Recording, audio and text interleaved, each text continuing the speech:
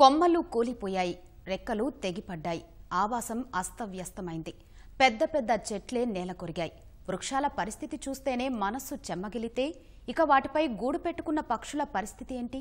ఖండాంతరాలు దాటి వచ్చిన విదేశీ విహంగాలను తిత్తి తుపాను బలికొంది.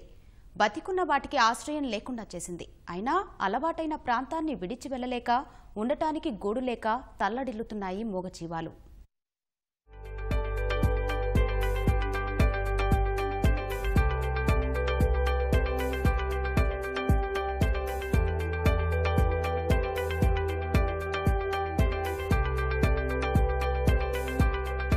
శ్రీకాకుళం జిల్లా టెక్కలికి ఆరు కిలోమీటర్ల దూరంలో ఉండే తేలి నీలాపురానికి విదేశీ పక్షులకు విడదీయని బంధం ఉంది.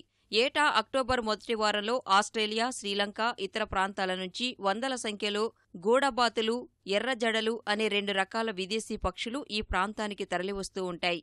ఆరు నెలలు ఇక్కడే చెట్లపై ఉండి సంతానోత్పత్తిని పూర్తి చేసుకుని తిరిగి ఖండాలు దాటి వాటి ప్రాంతానికి వెళ్ళిపోతాయి ఈ ఏడాది పక్షులు రావడం మొదలైన సమయంలోనే తిత్లీ తుఫాను ఆ విహంగాలకు ఎదురొచ్చింది. తుఫాను దెబ్బకు ఇరవై ఐదు పక్షులు ప్రాణాలు వదిలేశాయి. తుఫాను వచ్చిన తర్వాత కొన్ని రోజుల పాటు కనుమరుగైన చాలా పక్షులు తేలి నీలాపురాన్ని ఇప్పుడిప్పుడే చేరుకుంటున్నాయి.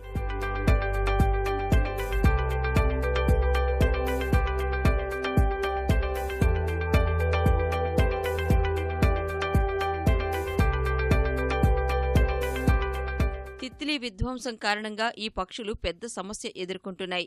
తుపానుతో తేలి నీలాపురంలోని చెట్లు పడిపోవటం వల్ల ఆవాసానికి దూరమయ్యాయి. మిగిలిన కొద్దిపాటి చెట్లపై చోటు కోసం పోటీ మొదలైంది. వాటిలో అవే కొట్టుకుని ప్రాణాలు పోగొట్టుకుంటున్నాయి. పొదిగే చోటు కోసం యుద్ధాలు చేసుకుంటున్నాయి. తుఫాన్ కారణంలో వాటి బూడి పిల్లలు ఇవన్నీ చనిపోవడం చాలా తక్కువ అయిపోయాయి దురదృష్టవశాత్తు మన ఇప్పుడు తుఫాన్కి ఇవి కూడా చాలా బలైపోయాయి. ఇరవై వరకు ఇరవై ఐదు వరకు పక్షులు చనిపోయి కొన్ని ఏ- ప- పచ్చిపచ్చేసి గుడ్డు కూడా వచ్చాయి గుడ్లు కూడా పెట్టాయి అవి కూడా పూర్తిగా పడిపోయి ఇబ్బంది పడ్డాయి. వర్షం పడిన ఒక ఐదారు రోజులు బయట వెళ్ళి కమలు ఇరిగిపోయినా ఆ చెట్ల మీద అలా వచ్చి మళ్ళీ వాలే. అదే మా ఊర్లో ఇల్లు పడిపోయినా అంత బాధపడలేదు కానీ పక్షులు చనిపోయిన బాధ ఎక్కువ. పక్షులు ఇక్కడ చాలా చనిపోయి అసలు పక్షులకి గూడి లేకుండా అయిపోయి మొన్న వచ్చిన తిట్లీ తుఫాన్ వల్ల. పచ్చులు ఆ రాత్రి ఎన్ని చచ్చిపోయినవి లెక్కలేదు మళ్ళీ ఉన్న పచ్చులు మళ్ళీ ఆస్ట్రేలియా వెళ్ళిపోయినవి ఎక్కడికి వెళ్ళిపోయినా మరి రావు కావాలో ఏటనుకోను మళ్ళీ అన్ని పచ్చులు చెట్ల మీద అన్ని ఊరు చేరుకుంటాయి గవర్నమెంట్ యాక్షన్ తీసుకుని మళ్ళీ మొక్కలు పెట్టి వాటికి అభివృద్ధి పెంచి పెడితే మళ్ళీ పచ్చులుగా అవుతుంది నీడ. ఈ విదేశీ విహంగాలు ఖండాంతరాలు ప్రయాణం చేసి తేలి నీలాపురానికే రావడానికి కారణం ఇక్కడి వాతావరణం. ఇక్కడ గూడు కట్టుకుని పిల్లల్ని పెట్టి సముద్రం మీదకు వెళ్ళి చేపలను తమ గొంతులో దాచుకుని వచ్చి తమ పిల్లలకు పెట్టి పెద్ద చేస్తాయి. ఈ ప్రక్రియకు ఈ గ్రామం అనుకూలంగా ఉన్న కారణంతో ఎన్నో దశాబ్దాల నుంచి ఈ ప్రాంతంతో విదేశీ విహంగాలకు అనుబంధం ఏర్పడింది. ఈసారి మాత్రం తిత్లీ తుఫానుతో పక్షులకు పెద్ద కష్టం వచ్చిపడింది. అటవీశాఖ అధికారులు పక్షుల సంరక్షణపై దృష్టి పెట్టాలని తేలి నీలాపురం గ్రామస్తులు కోరుతున్నారు. ఆటికి గూడు నీళ్ళు లేక మేము బాధపడి మాకు చాలా బాధ అనిపిస్తుంది.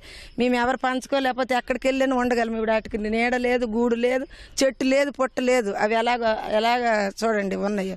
వాళ్ళు వేస్తారో చెట్టులు నాటుతారో ఆ పక్షుల కోసమే మీరు కొంచెం యాక్షన్ తీసుకోండి. మెయిన్ తుఫాను వల్ల ఈ చెట్లు పడిపోయి ఇరుకు ఇరుకైపోయి కొన్ని పక్షులు వాటిలోని వాటి దెబ్బలాడుకుని కింద పడిపోతున్నాయి. మన సీఎం చంద్రబాబు నాయుడు ఫస్ట్ ఈ మన ఈ తేలి నీలాపురము టూరిజం కేంద్రం కూడా ప్రకటించారు ఆయన. ప్రకటించిన తర్వాత బాగా డెవలప్ కూడా చేశారు బాగానే చేశారు. కాకపోతే దీనివల్ల మనకి ఇబ్బంది ఎక్కువైంది. ఎప్పుడూ పచ్చగా ఉండే తేలి నీలాపురం గ్రామం తుపాను దెబ్బకి మోడుబారిపోయింది పక్షుల కష్టం గ్రామస్తులను మరింత బాధిస్తోంది.